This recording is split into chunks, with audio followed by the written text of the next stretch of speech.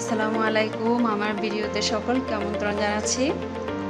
আজকে আমি দেখাবো আমার ভিডিওতে বাংলাদেশের একটি ঐতিহ্যবাহী গুড়া পিঠা অথবা হাতে কাটা পিঠা চট্টগ্রামের ঐতিহ্যবাহী এই পিঠা সাধারণত ঈদুল ফিতরের আগের দিন চান রাতে এই পিঠা তৈরি করা হয়। তো আমি এখানে দুই কাপ পরিমাণ গরম পানি, একটা প্যানে দিলাম এবং সামান্য পরিমাণ তেল দিতে হবে। তেল দিয়ে একটু ভালো করে নেড়ে চেড়ে দেব। তো এখানে আমি দুই কাপ থেকে সামান্য পরিমাণ বেশি চালের গুঁড়ি, যেটা এটা দিয়ে একটা ডো বানিয়ে এক থেকে তিন মিনিট পর্যন্ত একটা ঢাকনা দিয়ে ঢেকে রাখব। তো এভাবে গরম পানিতে দুই কাপ পরিমাণ চালের গুঁড়ো দেওয়ার পর এরকম করে গুঁড়িটা একটা গোলা তৈরি করে নেব একটা ঢাকনা দিয়ে এক থেকে তিন মিনিট পর্যন্ত ঢাকার পর ঢাকনাটা সরিয়ে এখন আমরা রুটি যেরকম করে গোলা তৈরি করি রুটির জন্য, সেরকম করে একটা ডো তৈরি করে ফেলব এবং এই ডোটা অবশ্যই খুব সফট হতে হবে। এরকম করে নিয়ে ভালো করে হাত দিয়ে চেপে এরকম সামান্য গুঁড়ি দিয়ে দিয়ে, অল্প অল্প গুঁড়ি দিয়ে দিয়ে বেশি গুঁড়ি দেওয়া যাবে না। এখানে আমি চালের গুঁড়ি ইউজ না করে ময়দার গুঁড়িটা দিয়েছি। ময়দার গুঁড়িটাও দেওয়া যায় অথবা চালের গুঁড়িও এখানে ইউজ করা যাবে। ডোটা এভাবে সফট করার জন্য। তবে ডোটা অবশ্যই কিন্তু চালের গুঁড়ি দিয়ে আমি এটা বানিয়ে নিয়েছি। আমরা পিঠায় সাধারণত রুটি বানানোর জন্য যে ডো তৈরি করি, সেরকম করে করতে হবে।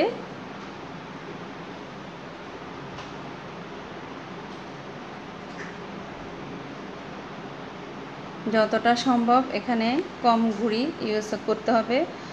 চালের গুঁড়ি গুঁড়ো অথবা ময়দার যেটা গুঁড়ি, সেটা। প্রথম অবস্থায় এই ডোটা তৈরি করার জন্য আমরা তো সামান্য একটু পরিমাণ তেল দিয়েছি, তো সেজন্যই এই ডোটা কিন্তু এরকম সফট হবে এবং আমরা সাধারণত ময়দা দিয়ে রুটি করার সময়ও এভাবে সামান্য পরিমাণ যদি তেল দিয়ে ডোটা তৈরি করা যায়, তাহলেও কিন্তু রুটিটা অনেক সফট হয়। তো এখন ডোটা যখন সম্পূর্ণভাবে তৈরি হয়ে যাবে, তখন কিন্তু এভাবে ঢাকনা দিয়ে ঢেকে রাখতে হবে এবং যতটুকু নিয়ে এরকম বেনি করা যায়, ততটুকু নিব, বাকিটা কিন্তু অবশ্যই ঢাকনা দিয়ে ঢেকে দেব। হাতের তালুর সাহায্যে এভাবে বেনি করে নিব। যতটা চিকন হবে এরকম বেনি, ততটাই কিন্তু পিঠাটা সুন্দর হবে।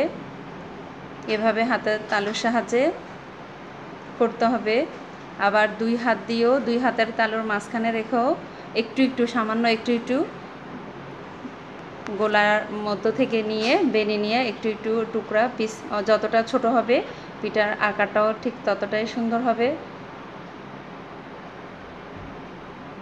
তো ভিডিও দেখার সুবিধার্থে এখানে সবগুলো করে দেখানো সম্ভব না হলেও এখানে আমি আপনাদেরকে যতটুকু সম্ভব দেখানোর চেষ্টা করলাম এবং এগুলো যখন বানানো শেষ হয়ে যাবে, তখন মাঝখানে এরকম বেশি পরিমাণ যখন থাকবে, তখন পাশে থেকে একটু ঘুরে নিয়ে এরকম করে ছড়িয়ে দিতে হবে চারিদিকে, তাহলে পিঠাটা ঝরঝরা থাকবে। একটার সাথে আরেকটা লেগে যাবে না।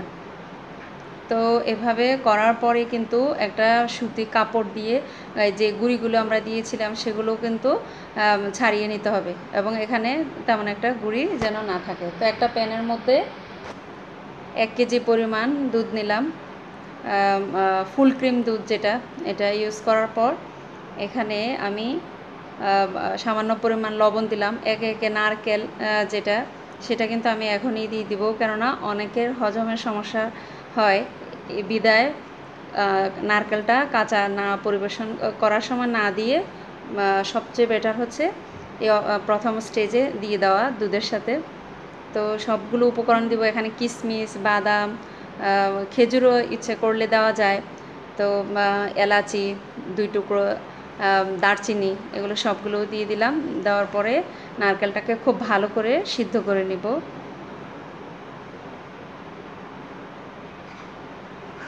একটা বলক আসার পর, নারকেল দেওয়ার পর, এখানে আমি এক এক কাপ পরিমাণ চিনি দিয়েছি। চিনিটা যখন দুধের সাথে ভালো করে মিক্স হয়ে যাবে, তখনই কিন্তু আমি পিঠাগুলো সবগুলো এখানে দিয়ে দেব। এখানে কিন্তু অবশ্যই নারকেলটা ভালো করে সিদ্ধ হওয়ার পর দিতে হবে।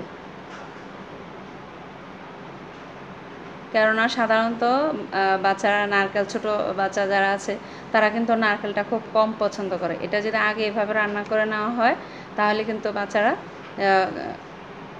ভালোই টেস্ট পায় আর কি, খেতে পছন্দ করে।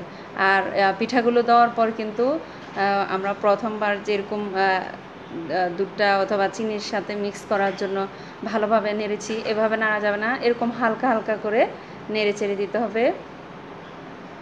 যখনই এটা দেওয়ার পর ঘন হয়ে আসবে দুধটা তারপরে এটা কিন্তু এরকম মালাইয়ের মতো করে, একটা সরের মতো করে দুধের মধ্যে যেরকম পড়ে থাকে, মাখা মাখা হয়, ঠিক এভাবে হওয়ার পরে একটা বাটিতে নিয়ে গরম গরম পরিবেশন করে যখন মানে খাওয়া হয়, আসলে খুব টেস্ট এটা করে না করলে কিন্তু ঘরে সম্ভব না বোঝা।